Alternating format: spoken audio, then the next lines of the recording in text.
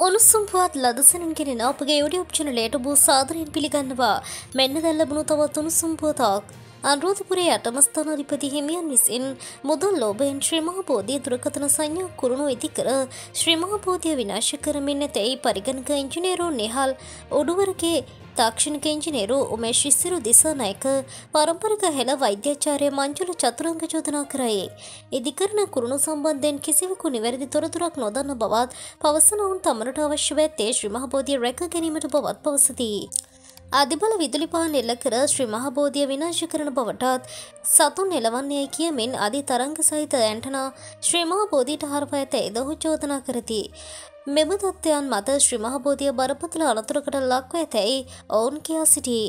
බුදුන් වහන්සේගේ කටහඬ සොයන්නේ ඇයි ඇතැම් තොරතුරු ඇති බවත් අන්තර්ජල නාලිකාවක සාකච්ඡාවකට එක්වෙමින් ඔහු අදහස් පල කර ඇත.